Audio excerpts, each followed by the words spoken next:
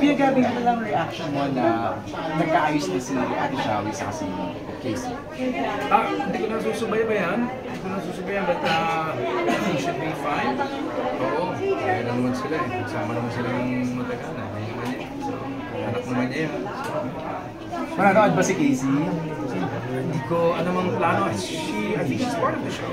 Oh! As far as I know, she's still part of the show, yes. Oh, wow. Yes. Mga pinakita sa akin yung script. Kasi pamilya Nancy, she's part of the show. Doing their narration. And hopefully makakanta kami. Exciting. Yeah, so uh, I'd like to do a song with her. I'd also like to see uh, Casey and Sharon sing. And then I'd like to see the three of us sing. So, Listening to you, it's gonna be an emotional... MJ, It's an emotional... time for all of us.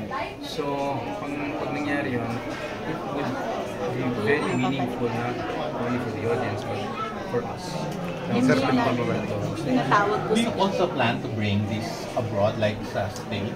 I'm not the producer, so baka hindi mangyari to disappoint our uh, viewers pero we have um, other scheduled uh, shows so maybe not this time maybe some other time but bilog ang mundo anything can happen but right now meron kami naka-schedule for uh, next year Gab, Kailangan daw na po si na. Gabi Alam niyo doon. po ang Stone in Life, I am uh, very grateful sa GMA because marami po yung aming ni Carla Villana and first time kami magsasama ni Beauty Gonzalez ang title ko rin ng aming uh, show sa hapon ay uh, Stolen Life. Makikita ko ninyo sa aming Instagram at Concepcion Gabi, pinupost ko po yun at saka sa GMA network. Um, kakaiba naman din to na uh, Lar because ngayon ako gaganap ko na sila ang gaganap na nagkakalitan sila.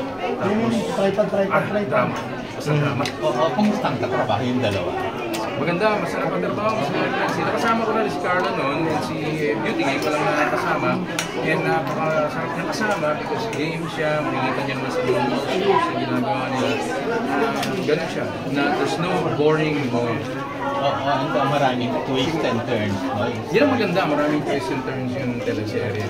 Pagka nakakita kasi ako ng script na nakaramdam ka ng parang butterfly sa chan mo, you know, Okay. Since it's mid-October, do you have plans already for Christmas?